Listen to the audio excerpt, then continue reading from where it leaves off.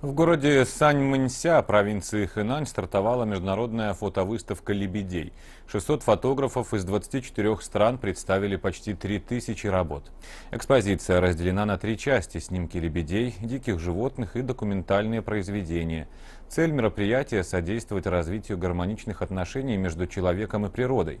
По словам организаторов, идеей для создания экспозиции послужила ежегодная миграция к озеру Саньмэнься тысячи лебедей из Сибири и Монголии.